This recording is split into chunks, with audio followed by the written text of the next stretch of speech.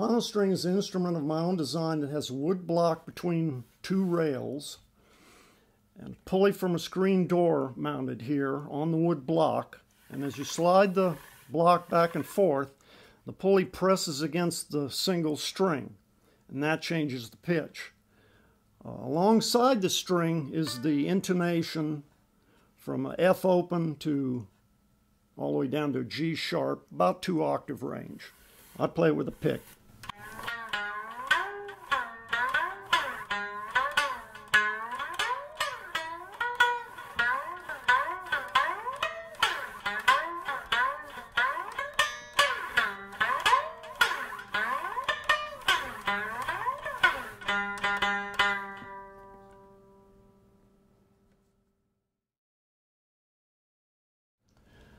Two-string acoustic guitar is based on the design from the Hunter Judson book with a few modifications of my own.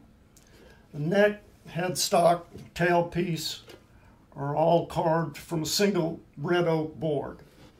The resonator here is cut from the bottom half of a bleach bottle. You can save the top part of the bleach bottle, cut it up into picks to play the instrument. I also use a metal sleeve from a hardware store to play the bottleneck style.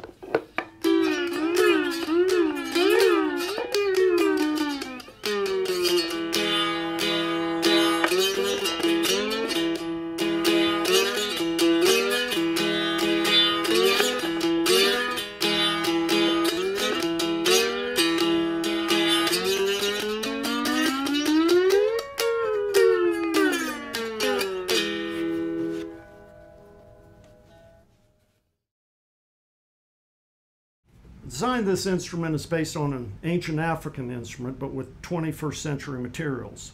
An aluminum bow instead of a wooden bow. The resonator, instead of a gourd cut in half, is a bleach bottle. Accomplishes pretty much the same thing.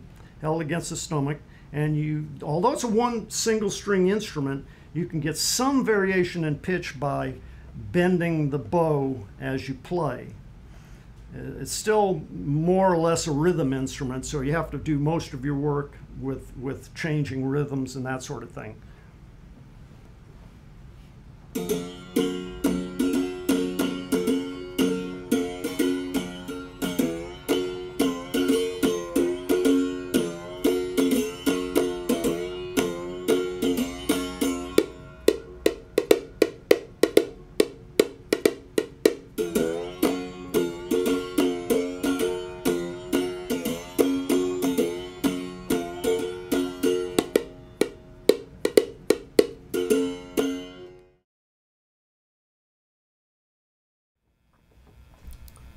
Three-string electric dulcimer of my design is based on the traditional Appalachian hollow body acoustic design, but mine is electric, amplified with this guitar pickup here, and it's not a hollow body, it's a solid pine bass and a maple wood fretboard. It can be played two different ways, with pick and slide,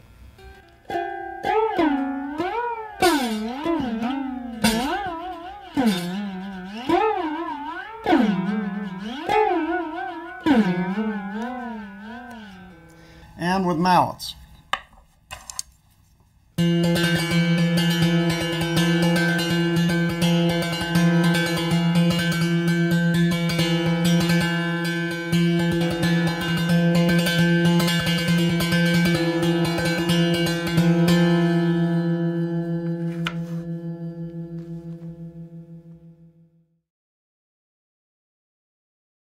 The bass guitar I've got here was uh, built from a damaged bass guitar that I got in a flea market. I used the strings, the electrics, uh, machine heads.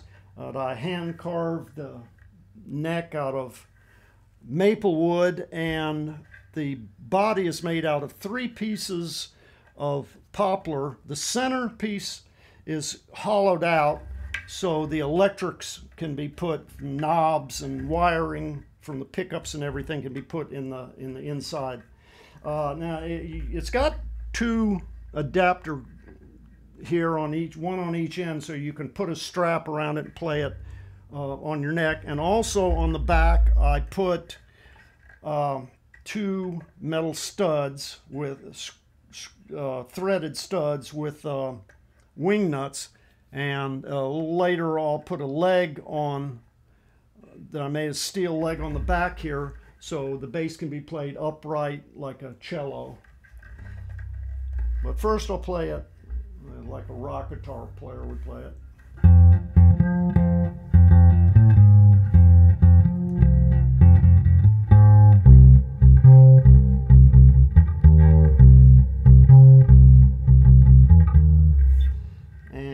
Get an idea what it sounds like that way. Now I'll play, put the leg on it, which will take a little bit of time, and then. So was the uh, the stand uh, an afterthought when you designed this? Huh? It, it, it, came later. You built the guitar first, and then you. No, I had this in, had mind, in mind, from the very beginning. Okay. Uh, yeah, that was the very beginning. Okay, now we've put the leg on the back here, so we're ready to get back playing bass standing up, which you can play picking.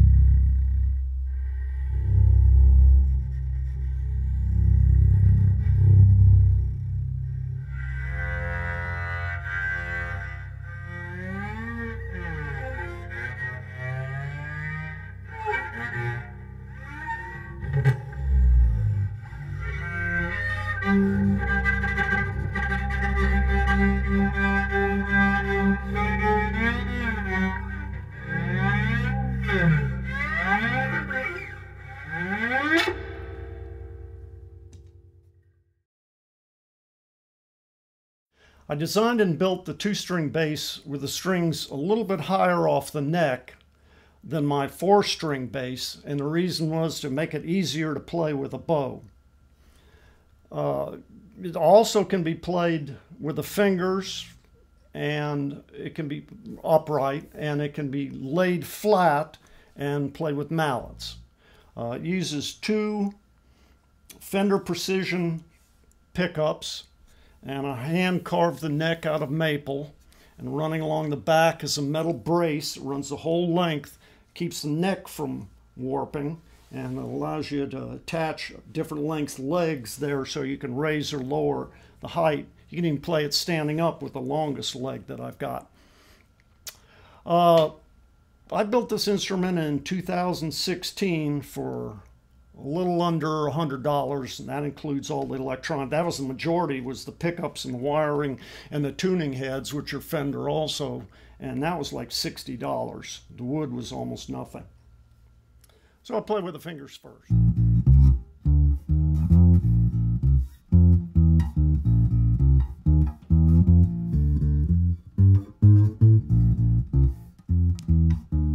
And with a bow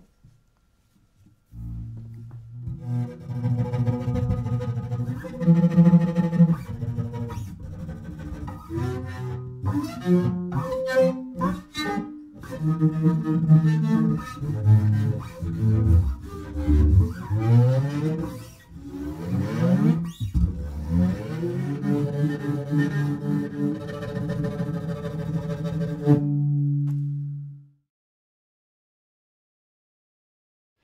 of the instruments I've built were intended to be played in ensembles by myself and others.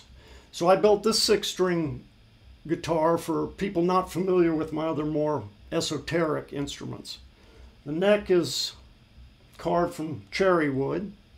The body is cut from plywood with a saber saw. And the pickup is a DiMarzio Telecaster type. And the various hardware is a collection of home-built and store-bought parts. As you might imagine, it can be played a variety of different ways and with any number of different effects units.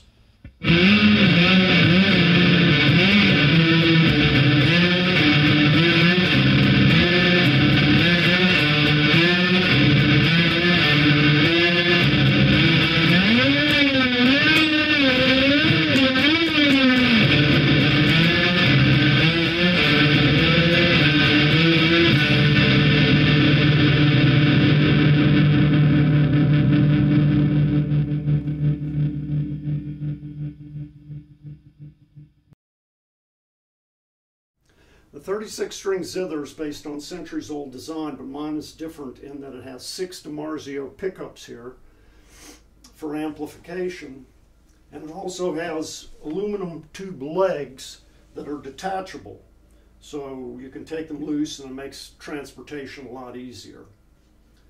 Uh, it can be tuned any number of different ways. Uh, currently it's tuned in groups of three and that way the bottom string isn't too loose and the top string isn't too tight. Uh, can be played any number of different ways uh, with a pick.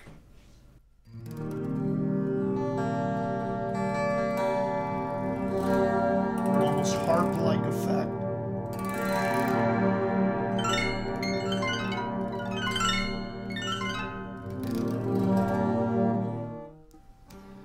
Or slide.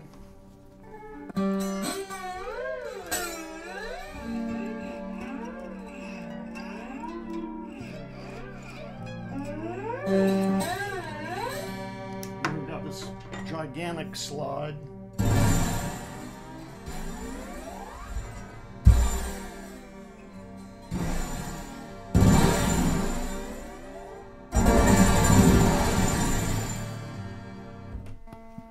And you can play with mallets.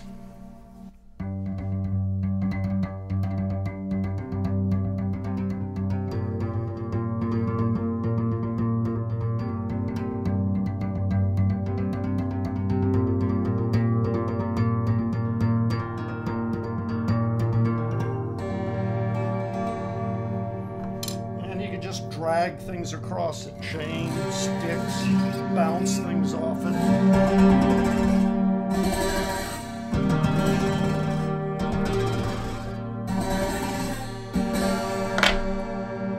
Any number of different ways be played.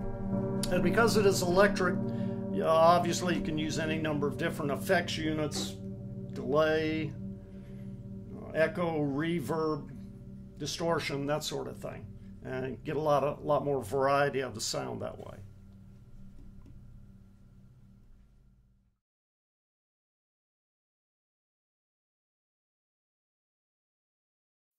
This instrument is in concept and appearance similar to the instrument of the same name built by Harry Partch. The concept is to combine three materials into one wood,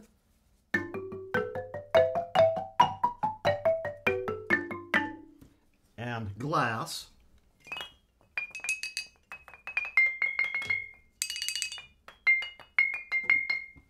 And finally, metal.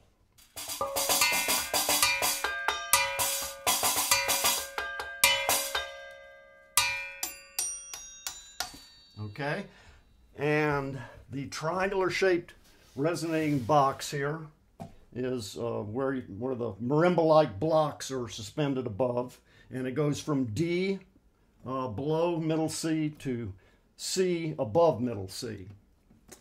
And uh, the six bottles back here behind the resonating cabinet uh, are wine bottles, and Harry Partch used two rows of 18 bottles. So this is a little scaled down version for apartment use. Finally, over here in the metal, uh, Harry Partch used three metal objects, two automobile hubcaps and one cooking lid pot cover. And I used the, the home built cymbal and some other metal objects here, saw blades, to take the place of his metal objects. Okay, now I'll do all the three instruments together.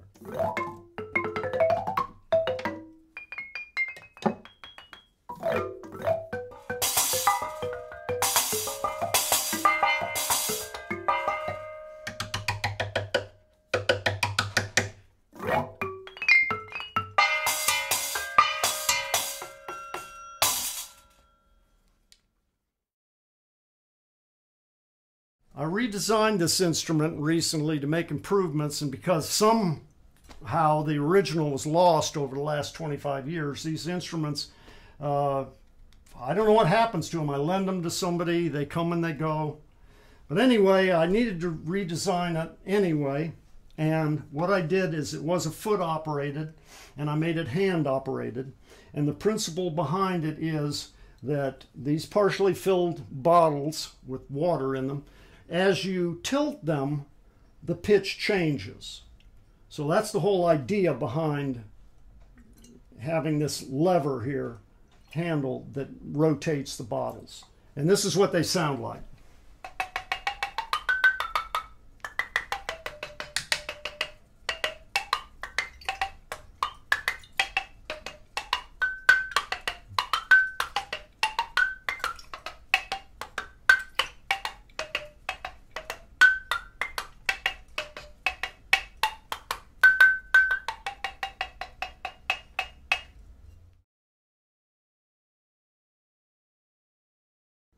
PVC rack is another instrument from the Banek Scoville book, but about one half of the size of theirs. Uh, I did that so it'd be better to fit into an apartment. the eight PVC pipes that you see here in the back are 45 inches above the ground, and they're the playing height. And then they go down to eight 180 degree elbows in plumbing they're called a PVC P-trap and then the, they come back up but the lengths are different when they come back up the non-playing side and that difference in, in the height obviously the shorter it is uh, the higher the pitch and the, the longer it is the lower the pitch and you have starting down here you have a C uh, D, E, F, G, A, B, and up to C, more or less. The intonation is a little bit. Uh, they can be played two ways. You can play them, or maybe more, I just know of two ways. Uh, they can be played with the hands.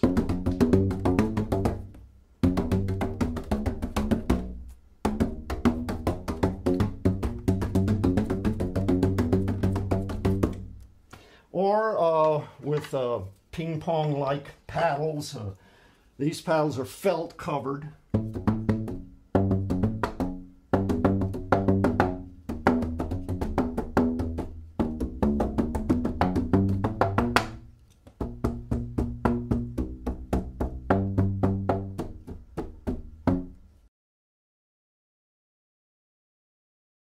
This instrument is based on design from the Banek Scoville book, and my version uses 14 aluminum tubes from F one octave below uh, middle C up to 1E one octave above middle C. Uh, the tube's drilled at the nodes, which is 22% in from the total length of the tube. And that node is the point of least vibration. So if you attach it at that point, the tube will have the chance to resonate properly and fully. Uh, the resonators below this frame here are PVC, uh, two inch diameter, and they're capped on the end and they're staggered so that uh, it'll allow them to be positioned close together. That's a very nice, pleasant sound, very long sustain.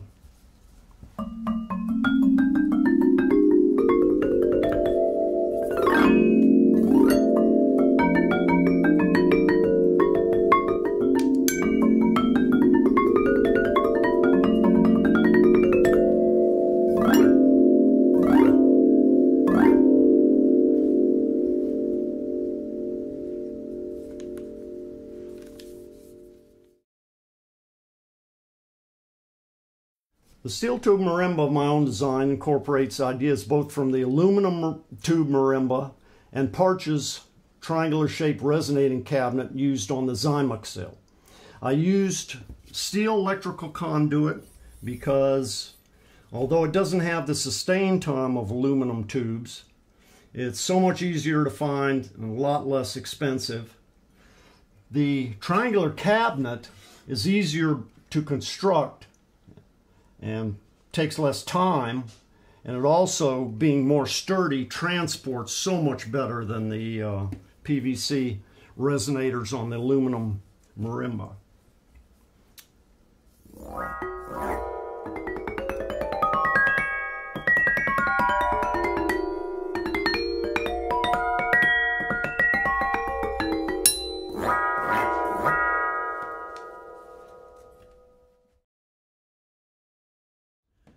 This instrument I call a glass rack. It's a sim, simplified combination of two instruments by Harry Partch. On my version, the upper glass objects here are similar in sound to Partch's cloud chamber bowls, although they're obviously much smaller, don't sound quite as nice. They're a lot less expensive. The lower glass objects, these five down here, are similar in sound again to what Partch called the Mazda marimba. It gives a very uh, kind of like almost a sound of a percolating coffee. They're very fragile and you have to use very soft, lightweight styrofoam mallets that I made with uh, one covering of felt.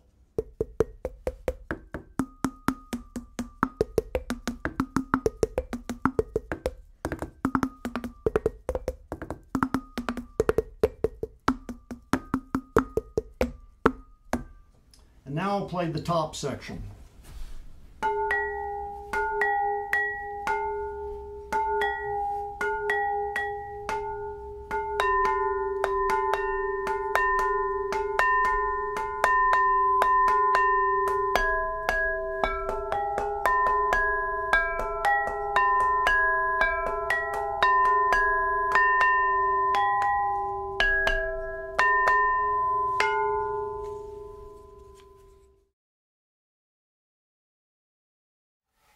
Thumb pianos that you see here are based on ancient African designs, but using 21st century materials.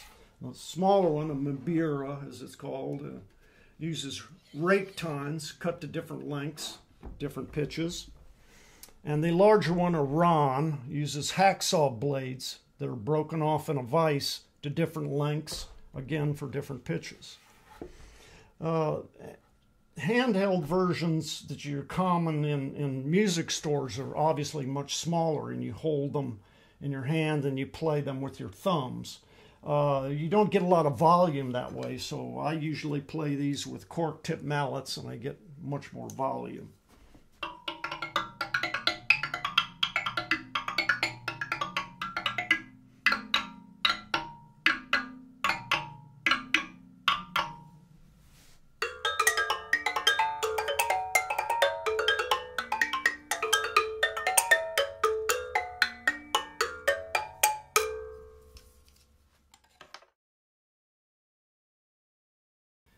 Here we have four plastic trash cans mounted upside down on cymbal stands for use as tom-toms. And this small trash can back here was modified to become a snare drum by adding this snare strainer here, which you can throw off or on. And underneath here, I cut down a 12 inch long set of strand wires and re-epoxied the other end. And this is what it sounds like with the snare off. No, with the snare on, sorry. And now the snare off. A little bit less of a snare sound there. Okay, and this will give you an idea what all the five drums sound like together. You can also play the rims out here as well as the centers of the drums.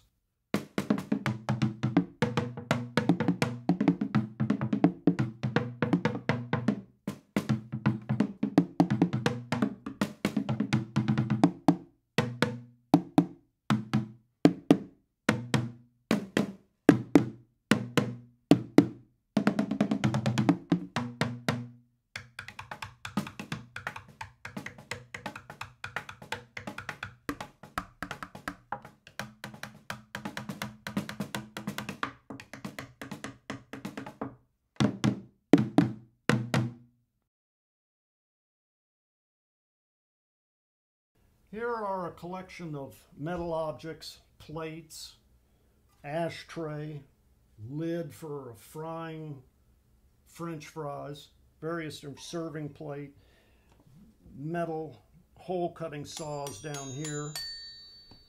And the smaller ones I, I use as cymbals and to add some sustain time I drilled holes around them and installed rivets which uh, which rattle like a sizzle cymbal when you hit them. And these two, I uh, they left them basically alone, other than mounting them, and used them as gongs.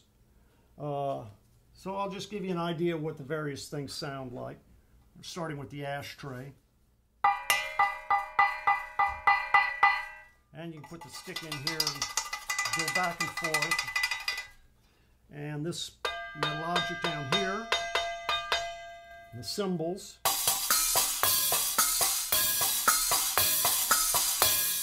And one gong.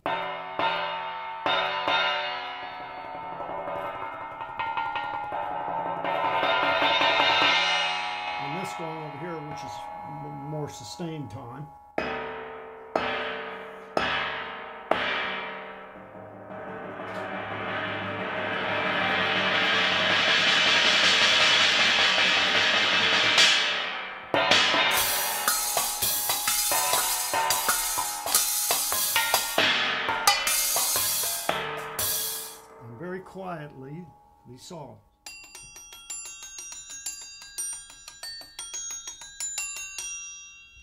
Now the cymbals and the previous uh, Can Thompson snare drum were designed to play all together. So uh, we'll take a little break and then we'll come back and play both the tom, snare, and cymbals all together. Okay, as promised, now we've got all the drums and the cymbals together and gongs.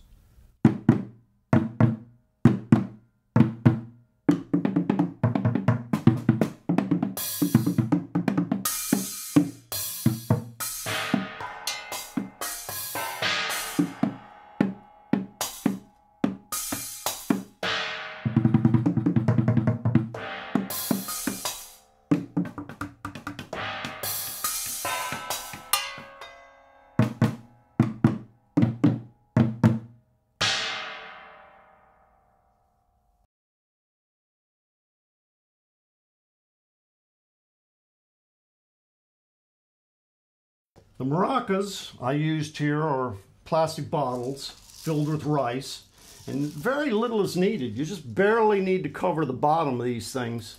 The plastic bottles I think were barbecue sauce or something. I poured it out. Put the rice in it when they were dry. Put caps back on them. I liked them because they had nice little handles on them and they look almost like a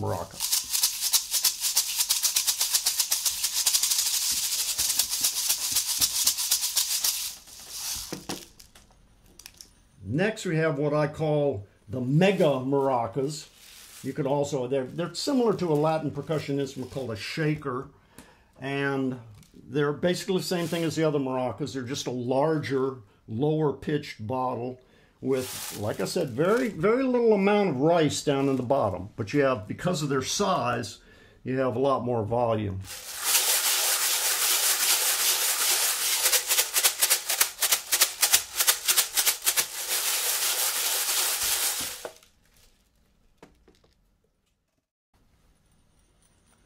Third instrument, uh, been around for years, another Latin percussion instrument. And I'm not really sure how you pronounce it. I think it's pronounced guro, I'm not sure. But uh, again, it's the PVC, two inch, sealed at the back.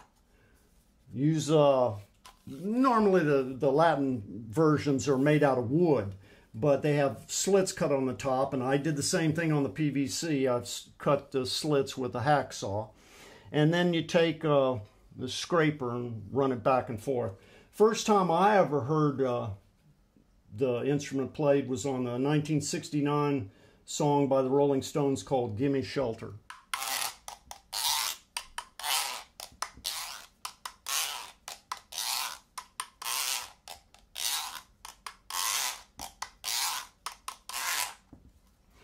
Also run it through effects pedals like delay and reverb and uh, put a mic right here on this end and get a really incredible strange sound, almost like a growling animal. The last instrument we have here is a tambourine and it's using this hoop from, I got in a craft store and women use it for embroidery. They put cloth in there and I put wires and attach sleigh bells, and you buy them in bags at the same store, very inexpensive. So you may say, well, you can buy a tambourine for ten dollars. Well, you can make this one for about two dollars, maybe three, four tops. And everybody knows what it sounds like.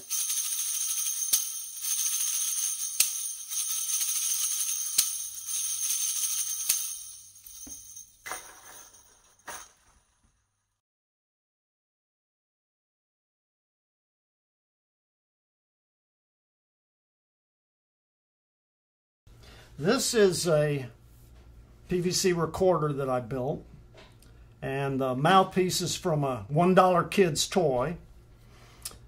Uh, they talk about it being a flute, but it's actually a recorder, is a more proper name. Attached is a one foot length of PVC, three quarter inch diameter, and I drilled holes for different notes. Now the spacing is up to you. You might experiment a little bit, Nothing wrong with that.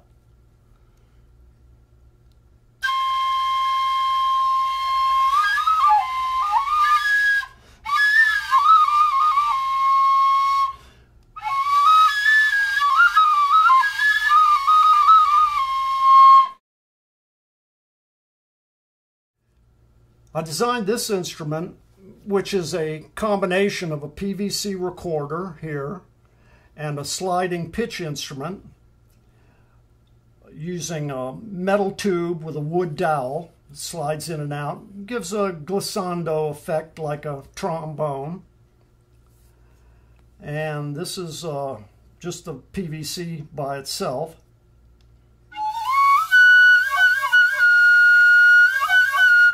And now this is just the slide by itself. And you've got a, quite a good range. And if you use all of the range, it has a kind of comical effect.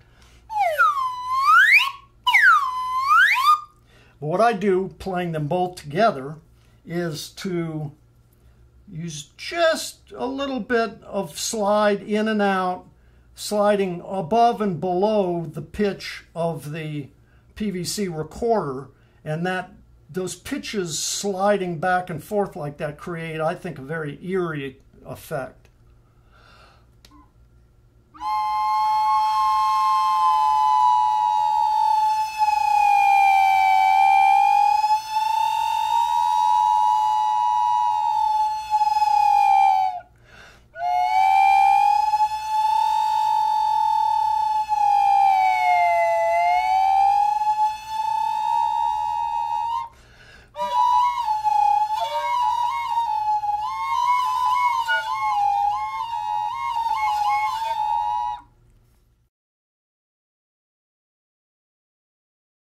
This is a PVC pan pipe, six different lengths of one inch diameter. PVC held together by wood clamps. Different lengths PVC are uh, closed off at the bottom and you blow across the top. It's based on an ancient instrument uh, played both in Greece, South America, probably China also. Have ascending six notes from the longest tube D E, F, G, A, B up to the shortest tube.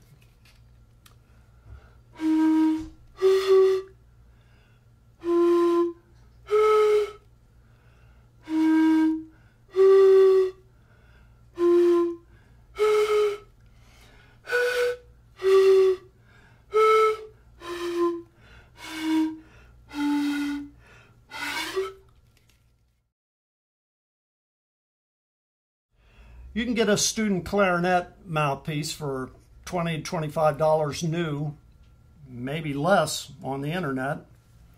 And I took a length of PVC pipe and added drilled holes. Uh, hole placement is up to you. Probably experiment, be the best thing. And a piece of PVC here to uh, add, add it at the top for an adapter between the main part of the PVC clarinet and the clarinet mouthpiece. Uh, this piece on the end may or may not do anything, maybe help project the sound a little bit. So for a total of, I don't know, maybe $30 or less, you can get an instrument that, uh, although it doesn't have a lot of range, it because it doesn't have the pads like it in the spring-loaded levers like a real clarinet, but it costs a lot less.